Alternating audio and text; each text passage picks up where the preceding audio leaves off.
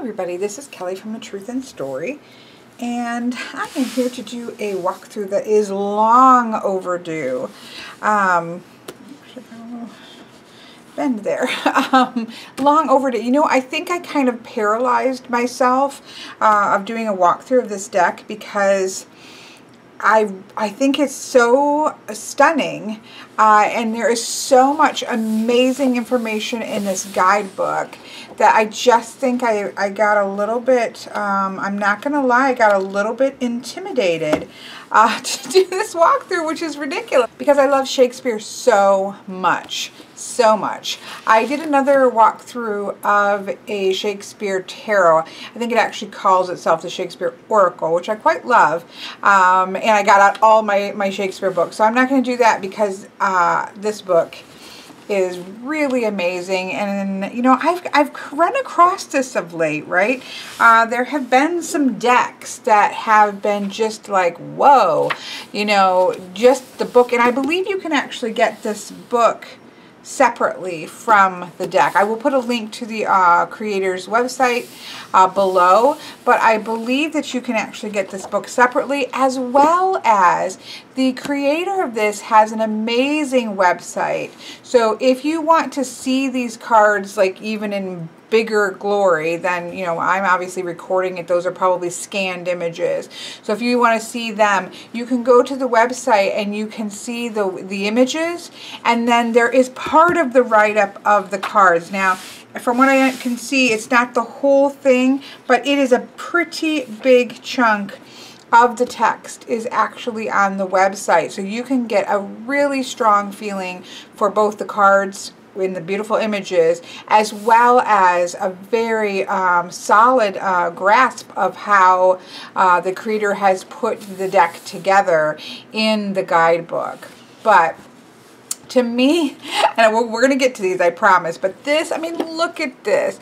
It looks like um, the books that you would get I can't remember what these are called. Like an Oxford, uh, yeah, Oxford's World Classic. So it looks like, you know, the Oxford Classic books, which I think is a wonderful. Um, he also has the uh, author by Anonymous, uh, which I thought was really interesting um, and fun. Uh, so he definitely has a little tongue-in-cheek. Uh, the cover illustration is Edward de Vere, aka uh, William Shakespeare. Now, I will say, uh, I will say I am not as sold as the author uh, on the um, on who William Shakespeare is.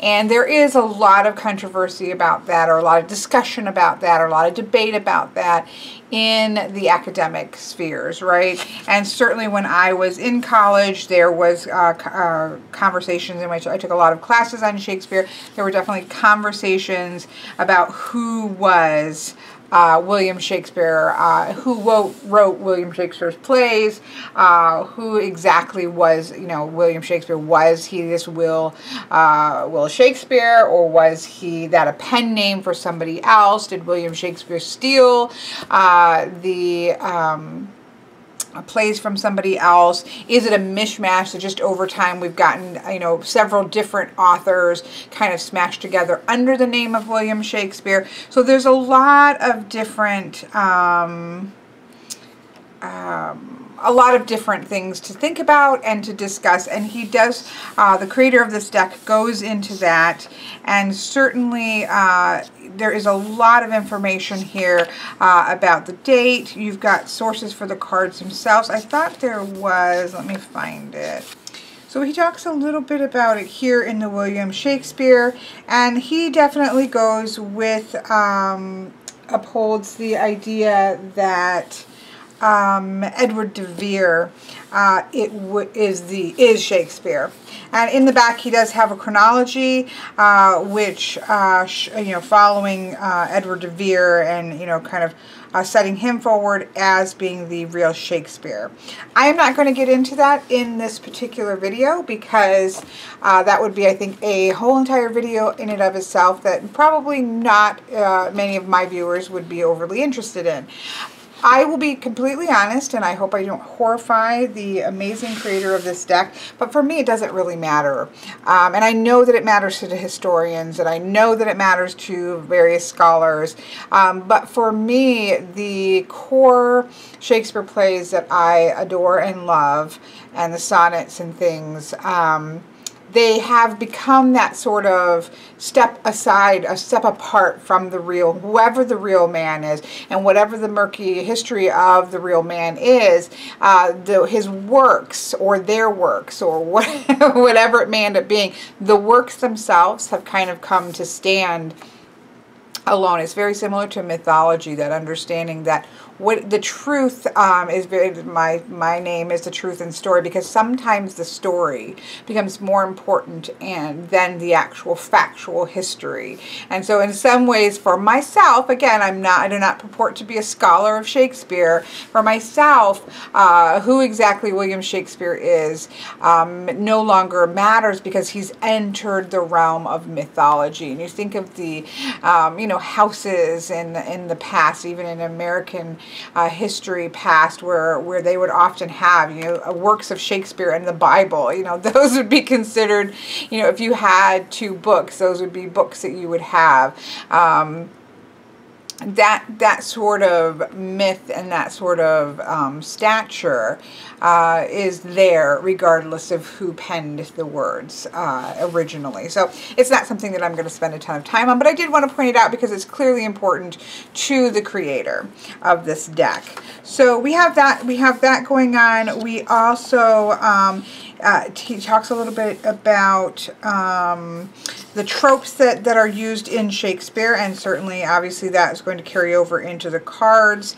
Uh, it talks about the dramatis persona, uh, the characters that comprise uh, the tarot deck as well as obviously the literary kingdom, as he calls it, of William Shakespeare's written works. Um, and I love all of the Shakespeare Tarot's worlds a stage and all the cards merely players. As every character is portrayed by an actor, even if only in the theater of our mind, and a character may call to mind a person from real life, be it Lord Burleigh or our mother, every character remains at core a persona. Um, I love that. So, so as with the chariot, the characters Caesar, Polonius, and Burleigh are the vehicle um, of the card's act and actor.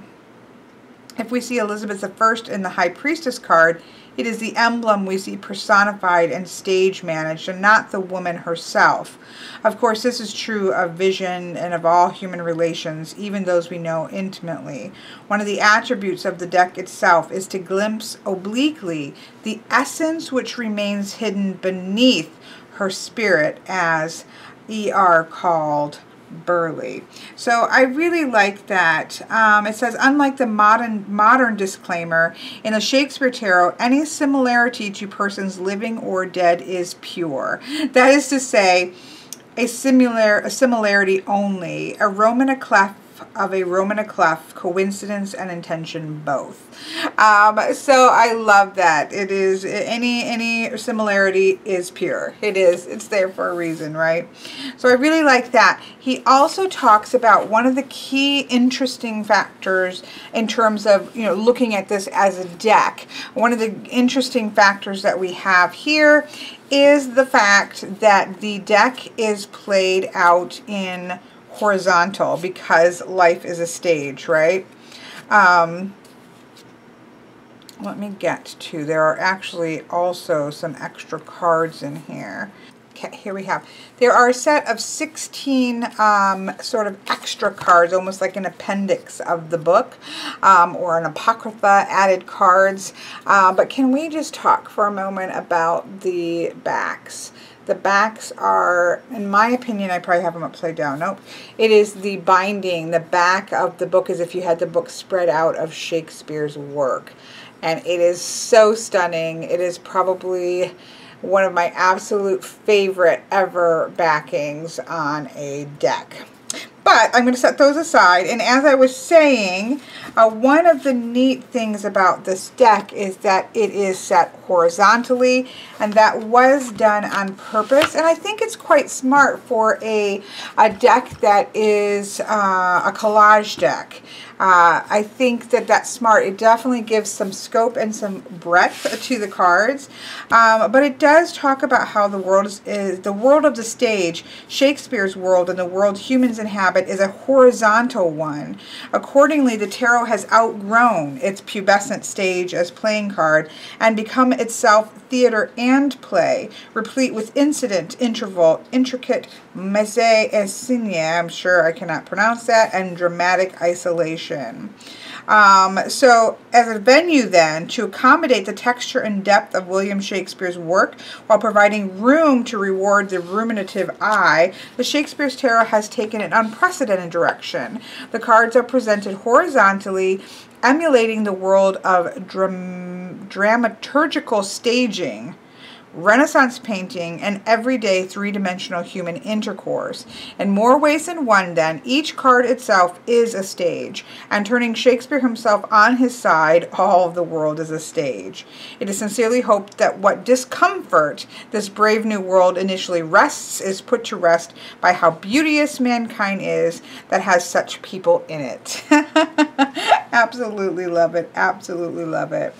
Um, he also talks about, you know, interpreting the actual, what is the play? What is what's going on in the cards? And it talks about how one interprets and understands this tarot is an open and personal as one how one interprets and understands Shakespeare's canon. Significance within the imagery is as varied as the poet's words and their meanings. The correspondence of character and plot to ideas inherent in the given card of the tarot echoes how Shakespeare himself wielded and forged his sources, be they historical, literary, or idea, ideational the chemistry of a cast at any given time and the receptivity of his audience are an aspect of the unknown made manifest, given voice and made known in part through art, in part through nature. Through human agency, art and nature assay one another and are assayed, creating something non-parallel greater than either were alone. So he just talks about however you want to approach this, it is what it is, right? Um, so I think that that is pretty cool. So he makes note of that. And then he starts out with the minor arcana here. Um, so I probably, I should start do the same here. But I'm going to, because I already have them in order, I'm going to go to the major arcana here. Um, and then I am going to just read this first section of the Fool, not all of it, because you will see there's quite a lot of information. But I just want to give you an idea of what you get in this. And again, uh, I'm not going to spend copious amounts of time on this amazing guidebook because you can, ver I'm going to have the link right below in the description box. And I really urge you, if you love Shakespeare, if this deck in any way appeals to you, I really urge you to go to the website and look at these images in full glory, as well as be able to read through all of the chunks of all of the of the cards and really get a feel for uh, the writing and the beauty of the cards. Um, so here it, we have an image of the card itself on, I believe, all of them yes, in color, as well as the minor arcana. So all of them have a nice sized, almost, you know, full, smaller tarot size. If you look at, yeah, I mean, it's pretty much a basic tarot size color image, beautiful color image, which I think is really important because that way, you know, there's a lot to read here. There's a lot to sink into and you can take this off somewhere with you as I intend to do and my brain is working. And, you know, you can just pick one and just start to read it and you've got the color image right there. You don't have to find it in the deck. That I think is a really big plus with this type of a book that is so meaty and wonderful. So we have the image here. We have the name of the card, which is the Fool, which on the Fool itself is unnamed, and you will sometimes find that to be the case.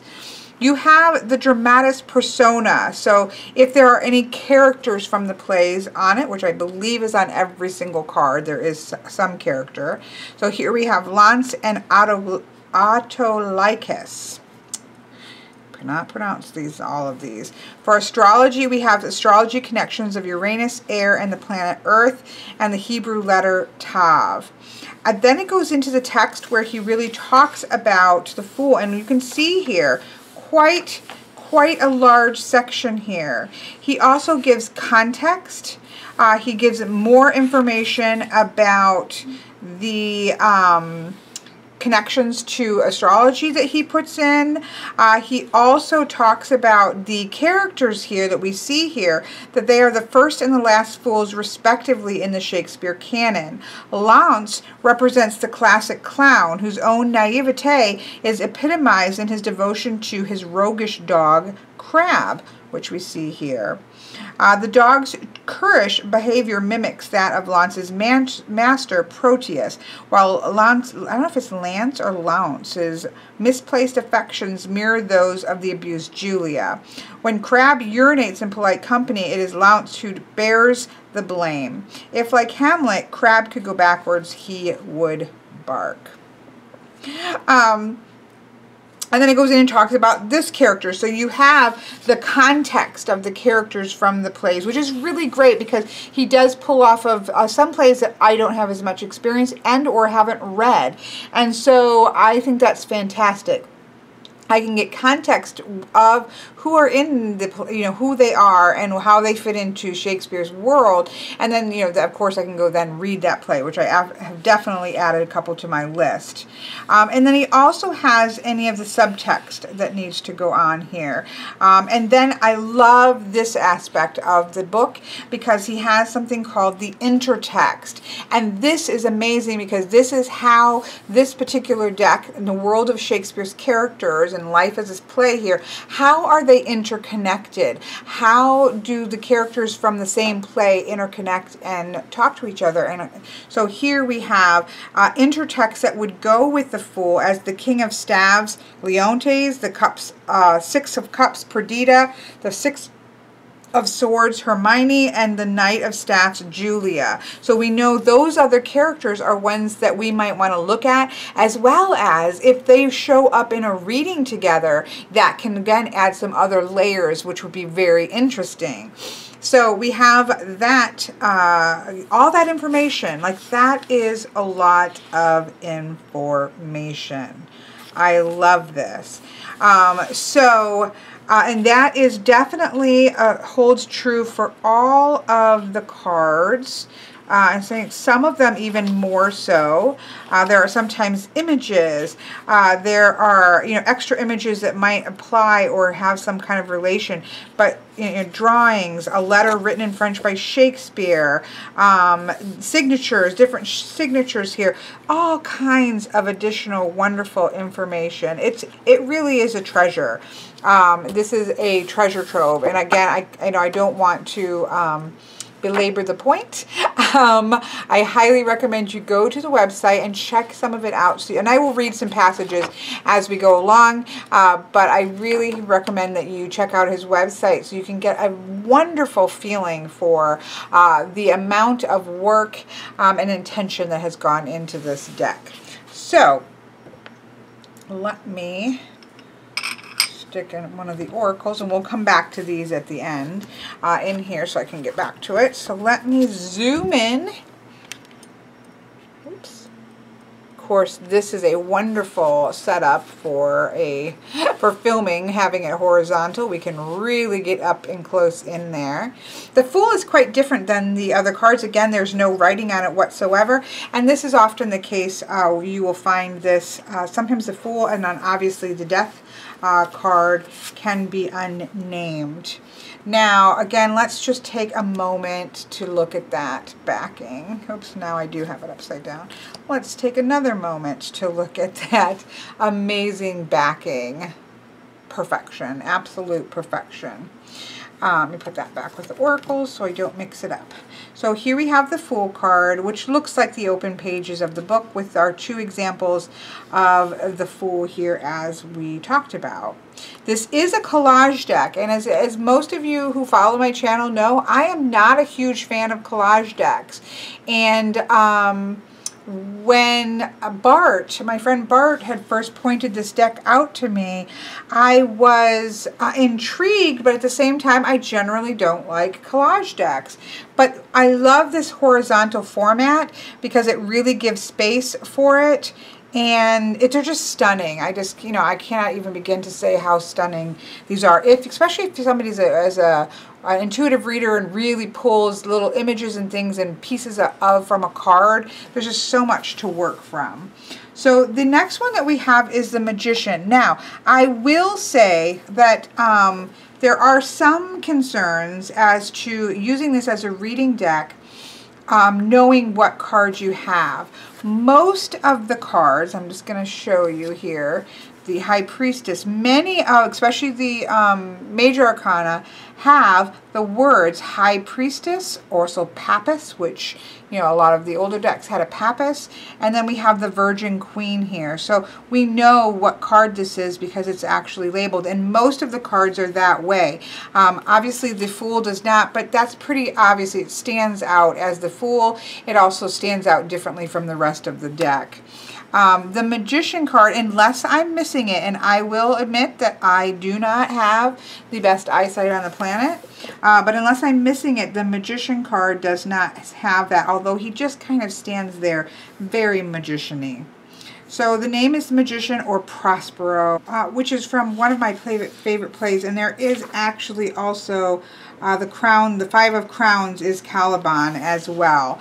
Uh, so I love that. But I'm going to read this uh, because, as you can see, there's a lot that's going on here. But when you look at the guidebook, um, there is uh, a lot of direct explaining um, what each of these different things are, which I think is wonderful. Um, and so here we have the Magus Prospero has been in exile for many years, during which time he has studied and perfected his craft of magic. He is master of the minor arcana spread out on a table stage left. Uh, so we can see uh, the we can see the cup here. We can see a sword here. We can see staff here. So we can see coins here. So we can see this set out here, which is wonderful. Um, and embodied in his wards Miranda and Caliban on his right. As the first official card of the trumps, he also proposes to influence aspects of the major arcana. This is embodied in the spirit Ariel, seen here in the Tempest. So inside of this cloud of the Tempest here. Uh, Prospero, uh, seen here in the Tempest, Prospero commands, and the card which caps the trump cycle, the World Globe uh, which is the world card. Prospero st stands before his cave. So we're being told, okay, this is what's over here. This is what stage left. This is what stage right. This is the cave that he stands before, suggesting Plato's allegory in which prisoners mistake shadow puppets for reality. This is itself an allegory for theater, and Prospero uses his magic to stage a masque on this very spot. Plato's cave also suggests the Socratic method, sorry, as Prospero is master communicator and teacher. With his right hand, trying to see his right hand. With his right hand, from out a cloud, he holds a staff uh, a wizard's wand, which he himself will break, alluding to Falstaff and the Emperor card. Atop his staff is a winged towel right here. It just goes into the circle here. Um, so it's going through each thing. Uh, atop his um, staff is a winged tongue with the tail of a snake. This may symbolize the art of language, its bewitching power to soar, its cunning ability to tempt. It also happens to closely resemble the Visconti emblem of the city of Milan. Prospero's left hand, emerging from a cloud, wields a quill with which he writes in a large book, the book he himself will later drown deeper than did ever plummet sound. The sinister hand and quill are later recast in reoccurring roles on um, the crab surfacing from the depths of the moon card. Prospero stands center uh, around him is mystical Eden, but also wild and forbidding. And it goes on and on. Um, it's fantastic because, again, all of these pieces that we are seeing here, he is talking about in the context. So we don't have to, I mean, you can just not even, you know, look here, obviously. Um, and just do what you want to do with the card. But at the same time, if you really want to know what all of the symbology is for, he addresses that in the book. He also then gives a context for it. So this is the first, uh, the major arcana is aligned with the Hebrew Aleph and the Greek Alpha. He goes into those connotations there. He talks about the word word, word tempest and how that goes in. Uh, he also talks about how if there was any a real life person uh, attached to the character, he talks about that, such as Prospero being an allusion to Queen Elizabeth I Magus John Dee, the alchemist, astrologer, and possessor of the largest library in England. So it talks about how that connection is there, making it even a, a double um, uh, whammy, right, to use Prospero as well as that connotation of John Dee. Um, as the magician. So it's really, it's just amazing. Um, talks about this Visconti Sforza being commissioned by the Duke of Milan, um, and so on and so forth. It's just a wealth of information and context as to why this particular character was chosen for the magician, as well as why um, what all of these things might bring and mean and bring to the table in different layers uh, in doing a reading, which I think is amazing. So yeah, I just wanted to just give you uh, just a taste of how much information is involved here in the writing of this text. So here we have the Magician. I love, love, love this card. Here we have the High Priestess as the Virgin Queen. Um, again, it talks about the Roman à clef. I'm sure I'm spelling, pronouncing that incorrectly, but it talks about how um, this is also a reference of Queen Elizabeth I.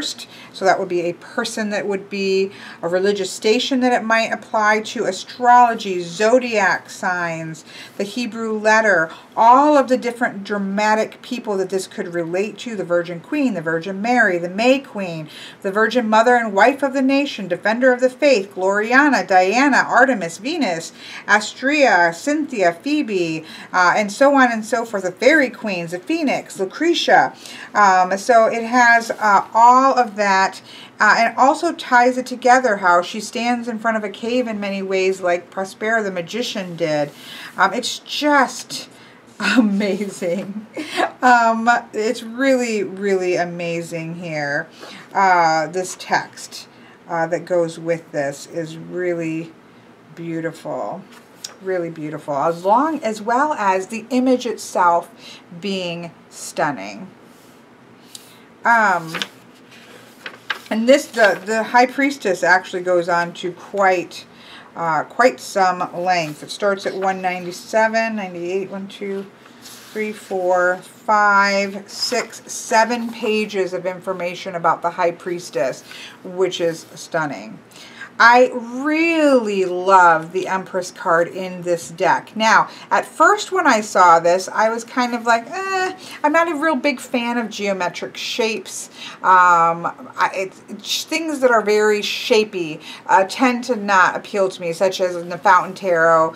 I think it's, is it the uh, King of Swords? It's kind of got a... Um, uh, triangle shape. It's very geometric. There's a couple like that. And those kind of things generally turn me off. I, I find I'm not very geometric. But this is really amazing because it talks about, uh, you know, we can see the different characters in the windows here. And they represent uh, Titania, the queen of the fairies, Hippolyta, the queen of the Amazons, and Hermia, um, and Thisbe. And what's interesting is that he talks about how uh, we are not given one definite empress at which to gaze, but fragments of the woman or fragments of different women which conspire to make up an overall and deeper impression of an empress. It even talks about the house itself and the and the way that we end up having a garden and all of these kinds of things that are really really beautiful. And it uh, relates. This is related to um, Midsummer's Night's Dream, which is also one of my favorite de uh, one of my favorite uh, plays.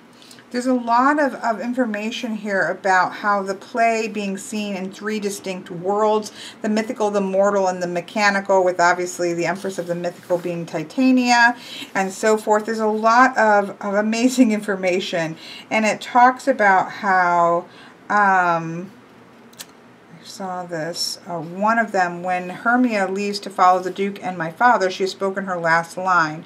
When Helena recognizes Demetrius as mine own and not mine own, her voice is silenced. When the dream is over, the women return to the world of man's making, a world written by a male playwright for a male audience where the women are played by men. Uh, very, very interesting. But this whole section uh, on the Empress is so interesting. Um, and again, it gives us the intertext where we're going to see, see Theseus as the Six of Crowns. Uh, so I this card, I at first was like, huh, that's interesting, but now it's one that I really love as well. Here we have, I know I have to go faster than this. Um, I'm not, I promise I will. Um, but here we have the Emperor as Falstaff. And you can see here, here's the Emperor. So there's a lot of texts from the plays, um, but you also have, most of them do have, if not all, well, I guess I'll pay more close attention here, but we do see that the Emperor is here. Uh, and so you would be able to know what it is that you pulled. Uh, I love that we have Shakespeare as the Hierophant. Um, that is pretty amazing. He's the teacher, all of that good stuff. This is the Shakespeare taught to us in school. The structure of the Hierophant card is derived from the ceiling of a cathedral, as if the reader were looking upwards. Looking downwards, then, on us mere mortals, Shakespeare may suggest a god or an icon impeding direct contact with what lies beyond.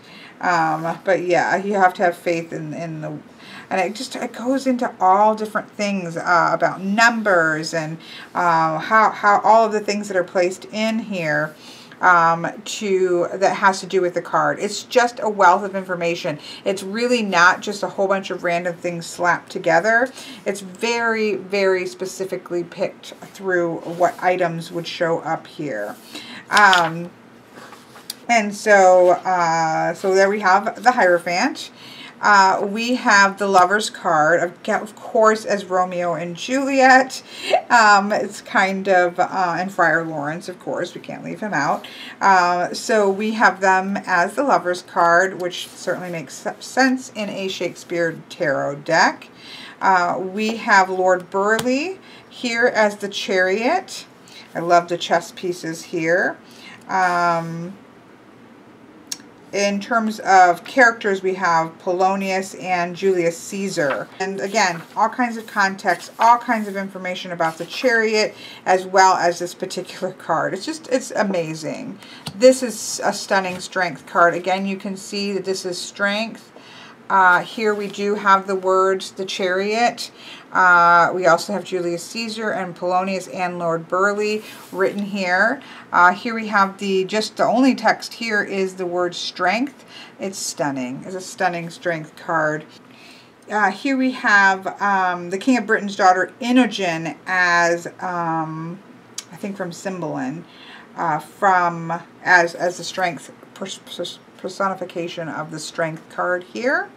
I can't speak. I can't speak. It's just stunning. I can't, I can't even begin to tell you how stunning this is. Uh, here we have the beautiful Hermit card. Look at this. Again, we have Hermit here. Uh, we have Timon of Athens. That is a play that I need to read. Uh, there are, I think, uh, let's see, because it will give us the intertext.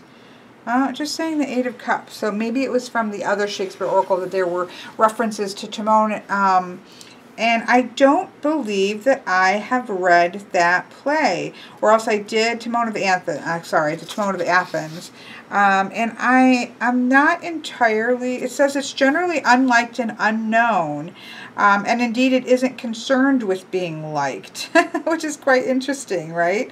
Um, so I, I need to pull that out and read it because I'm quite intrigued now. But regardless, this is just beautiful. Oh, I love it. Here we have the Wheel of Fortune, a lot going on obviously, and it's about the printing press, which I think is, you know, the winds of fate can be changed by the printing press. I think that is pretty amazing uh, represents change, chance, cycle, success, and expansiveness. The reader cannot control the wheel, only learn how to roll with it, how it affects events, how to maybe get out of its way, how to read it. I love that. Um, I just, it goes on and talks about the printing press. It's just amazing. Let's just be honest, it's amazing. Here we have, this is so beautiful. Look at this justice. Uh, this is Shylock, which is, I think, awesome. This justice card is deceptively simple, as if justice were a simple thing. I love this. Most people consider themselves reasonable and fair-minded and are untroubled by considerations of privilege, bias, and the possibility of the impossibility of anything approaching true justice. Uh, yeah. So this is again from the Merchant of, Merchant of Venice. And again, it's got the word justice on here, so you're going to know that. The Hanged Man is obviously also written here. It's not going to be very difficult to uh, know. Anyways, this card is very recognizable. Um, and of course, this is Hamlet, uh, to be or not to be, and definitely in need of some perspective. Uh, so we have that. We have, for the Death card, we have Titus Andronicus. Um, and I think, is it, see, are there two? I thought there were two death cards. No, maybe that's in the appendix because there's these extra cards here, so we'll come back to that. But here we have the death card. Uh, the unnamed death card is the only one in the Shakespeare to be totally devoid of color. So even if you go to, which is not a lot of color, there's still color in the Fool card. Um, and while these all may have muted tones, they do have color in them. And this one does not, so it makes it very clear. And it says, let not your sorrow die, though I am dead. Uh, it's beautiful. It's beautiful. So next here we have, again, lots of information here. Uh, for temperance, we have the play Measure to Measure for Measure, and we have a lot of characters in here. Isabella, Duke Vincentio as Friar Lodowick, Mariana, Ragozine. We have uh, lots of um, cards, or lots of uh, characters here. The Temperance card is a real balancing act, but unlike many of the Shakespeare Tarot trump cards, which depict extremes such as black and white, man and woman, spirit and flesh, Temperance is a card about merging and combining forces, the creation of a dialectic and preeminence of a third way. Oh, I love that. I just love that. And you can almost see that even in the middle with Isabella at the center. She's straddling the dichotomous worlds of judgment and love. Oh, I love this card. And there's beautiful, like, this, like, paintings and things. Um, the very mercy of the law cries out most audible, even from his proper tongue. And Angelo for Claudio, death for death. Haste still pays haste, and leisure answers leisure. Like doth quit like, and measure still for measure. Isabella says, oh, that it were as like as it is true. I mean, look at that gorgeous drawing uh, representation there. It's just a beautiful, um, such a... Uh, meaty deck, a meaty deck of cards, and as a meaty guidebook to go along with that. Um, the next card, which has very similar coloration and energy here, is um, the Devil card with Othello. Um, and here we have, of course, Othello, Desdemona, and Iago. Othello is another one of my favorite plays. yes. So wonderful to have for the, the Devil card. I think that is a really great play to pick for that. Um, here we have the Tower in Macbeth. And we see multiple persona, Macbeth, uh, the Thane of Cawdor, the King of Scotland, the Thane of Glamis, Lady Macbeth, the Queen. So it's the castle of the Macbeths, obviously.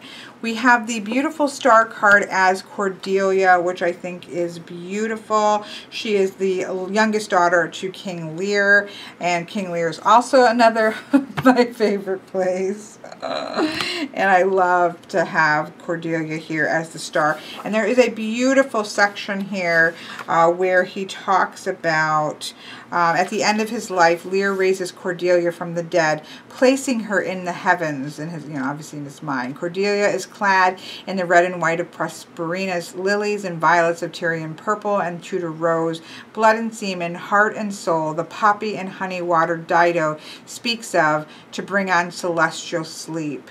Here in the star card, as Lear devolves into a child and his child becomes his mother, Thoth, sacred ibis, becomes Henet the pelican, spiritual psychopomp and symbol of self-sacrifice.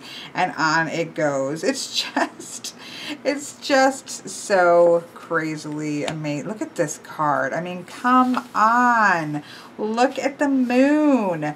I love, again, we've got the reflection of the moon here.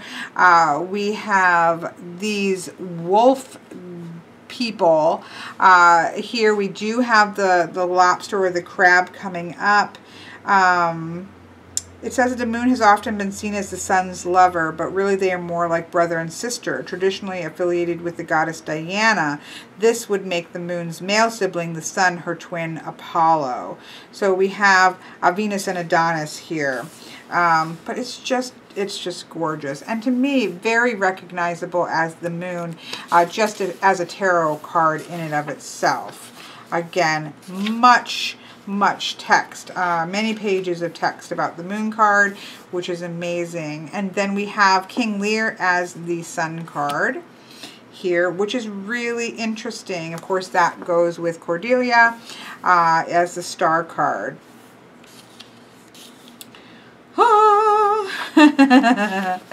um, there's just so much. And of course, this is just the major arcana, right? Here we have the judgment card. And again, we do have the, the word judgment here, so it's not going to be difficult to know that when you have it here.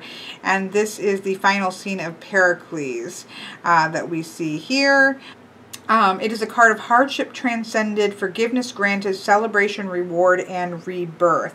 It contains within it the nuclear family, excuse me, symbolic of all families and stands squarely for the willingness and consonance of being judged on one's own merit. And lastly, for the world, or for the major arcana, we have the world card, which is the globe. From the stage of the Globe Theater leaps the cosmic dancer, represented here on the world card by the mag magical sprite Ariel. A spirit of the air, Ariel manipulates the elements of the earth. His nature is to be free. Um, I love, again, Tempest is, is probably, if I had to pick one, it would be the Tempest.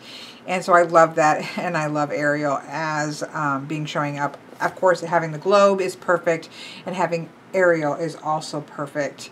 and so that closes the major arcana